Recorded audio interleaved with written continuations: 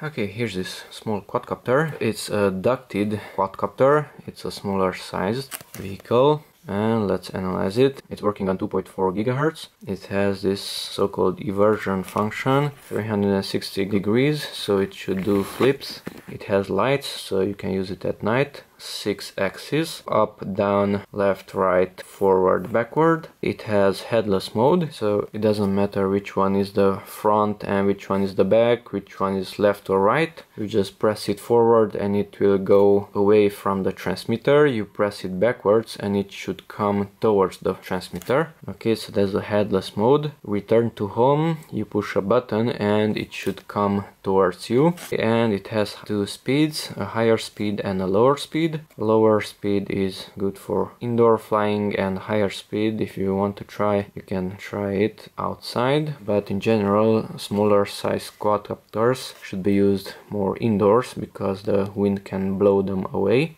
Okay so it has a return to home feature. It's not recommended under 14 years of age blade guards for safer flights. That is very good. So the blade is enclosed in this uh, black plastic. And if you hit something with the propeller then it should bounce away and it should not cut that surface whether that is a piece of wood or your flesh. So it's much safer and it's good for the propellers also because they won't fly off. Okay so this is a blue one you should not use the drone under wet conditions. Don't fly near planes. And that's the small drone. Let's take it away. You have here the USB charger for the internal battery. So this is the battery that should be charged from a USB port of a computer, let's say. You have four replacement propellers if you break these. And you have the radio let's see the radio. It needs two double A batteries. 1.5 volts double A so these are real buttons. That's the power button on and off. These are some of them for trimming corrections raising the quadcopter up in the air and coming down yawing left and yawing right. Pitch forward pitch backward roll left and roll right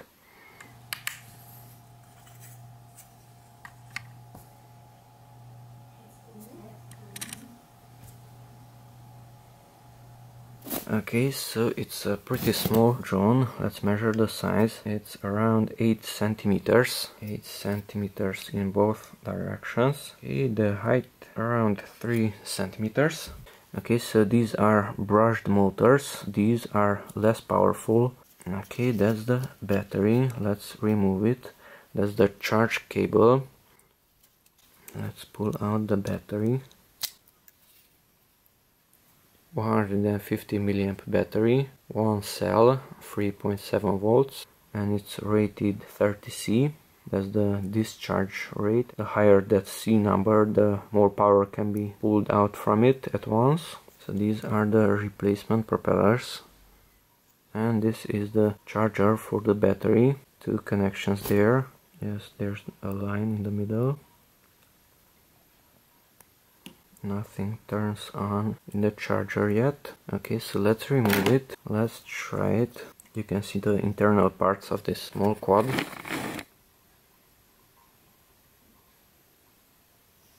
So push in this battery and there's this thing in the middle.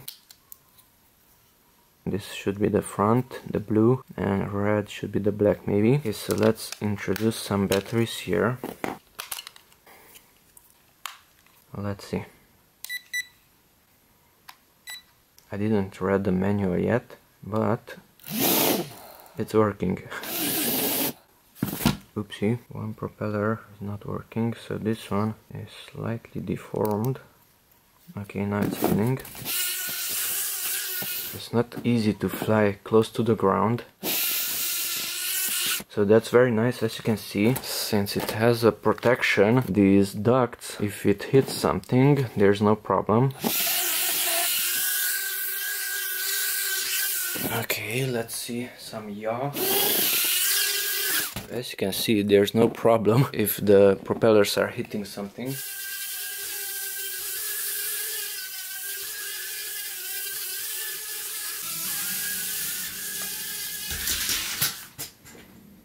Okay, now let's try the charger itself. Connect it to the computer's USB port.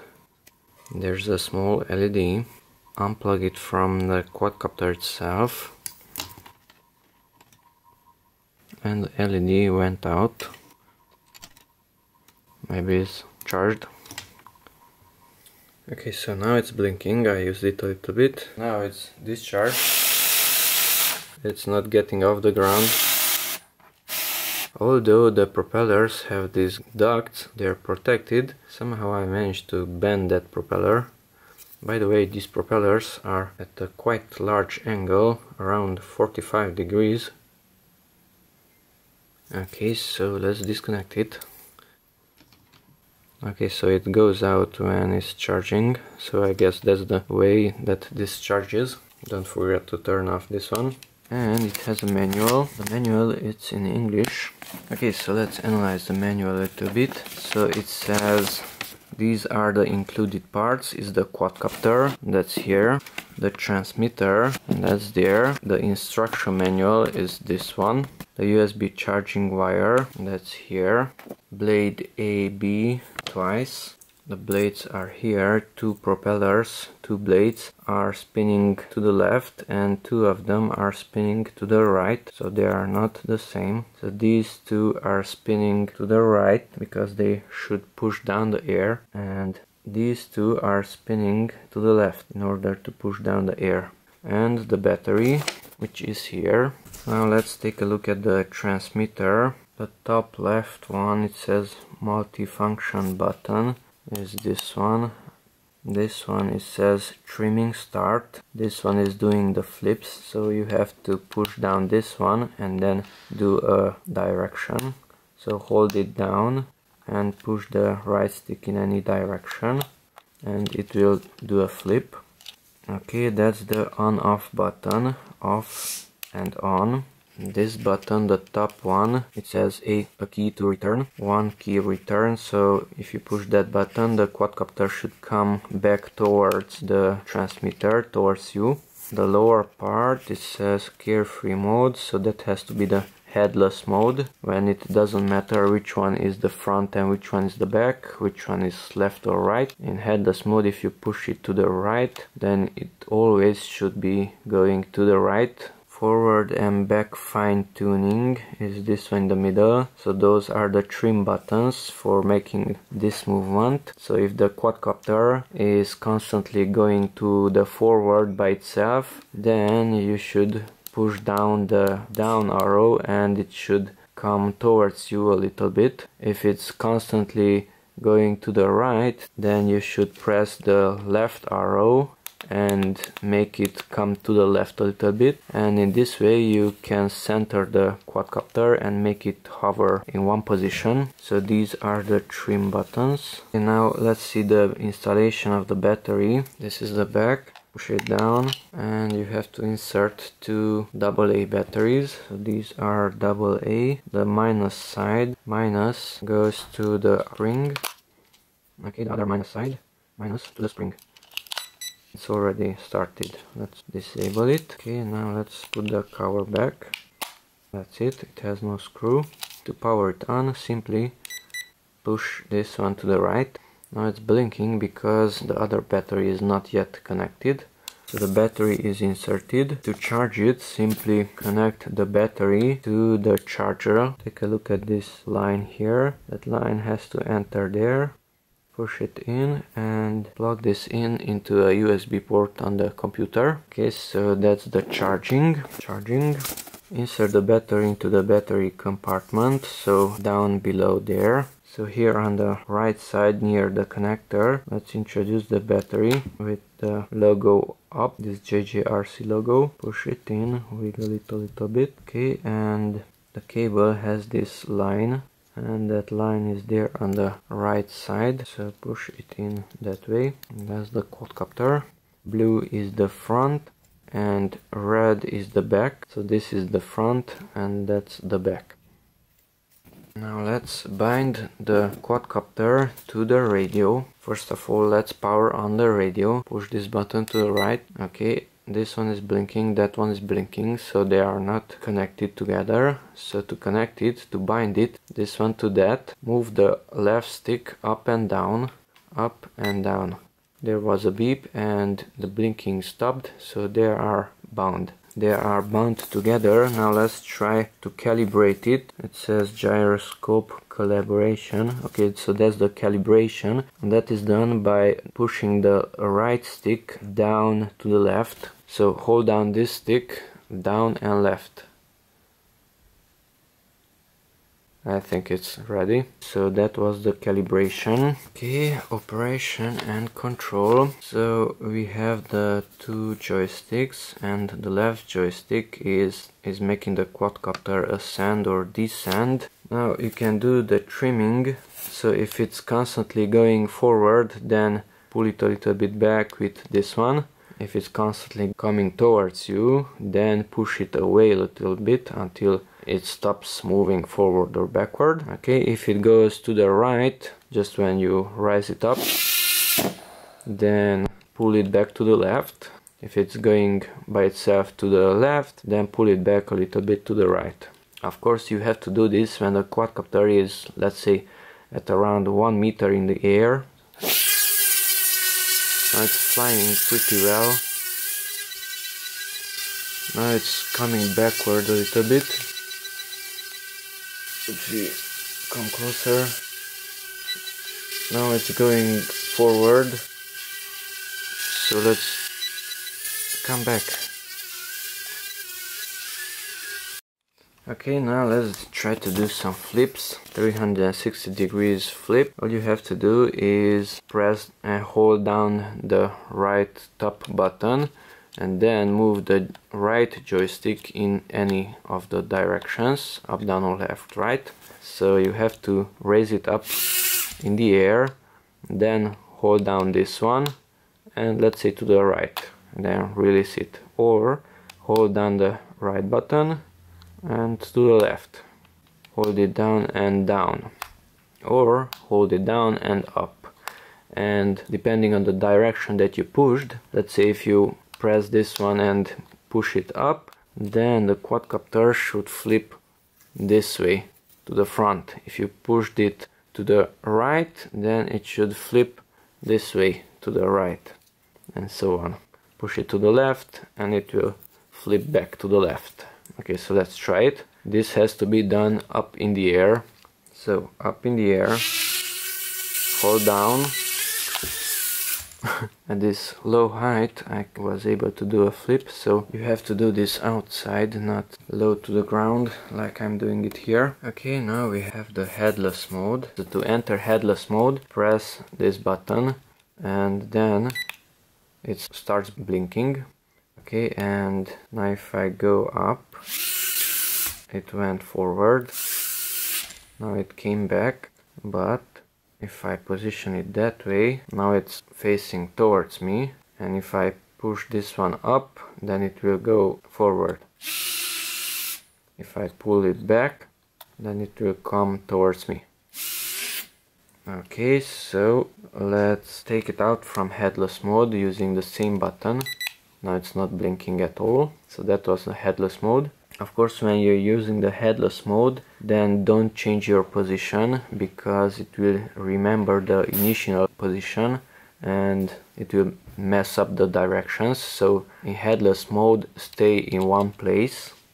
Okay now let's talk about the one key return function. One key return is this one on the left side. This one so now it's in the normal mode. So if I raise the stick up then it will go up. Okay but if I enter one key return mode by pressing this key like so then if I increase the throttle then it will always come towards me.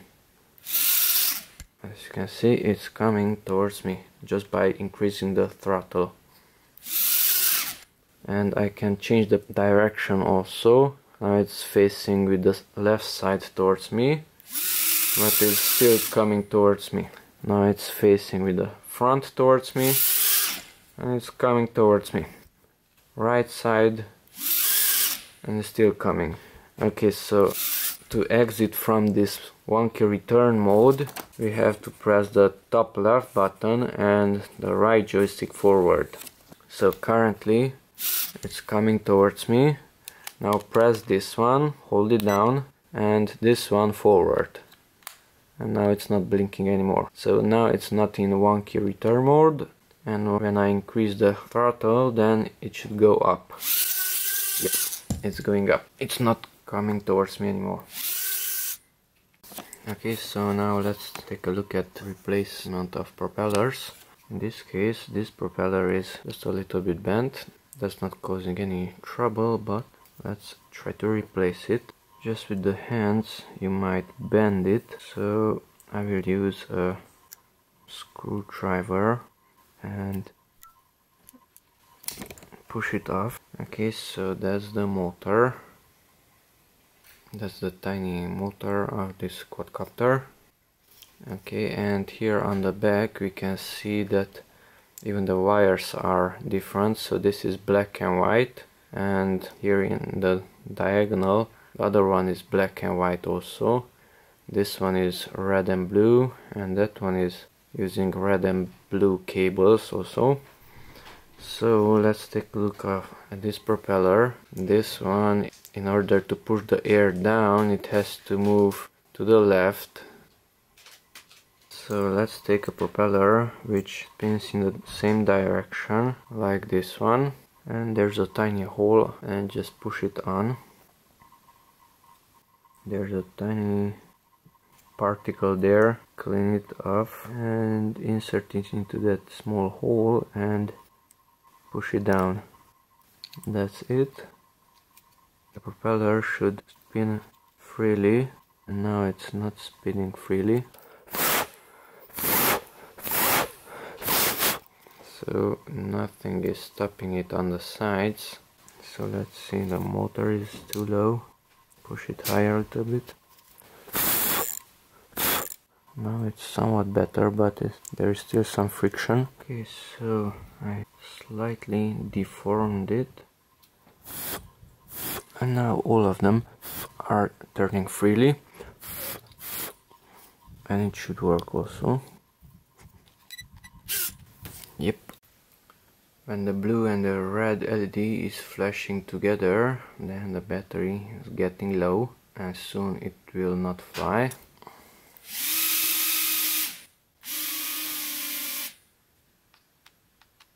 That's it. You have to recharge the battery or replace it. Now it's blinking faster because it's not bound.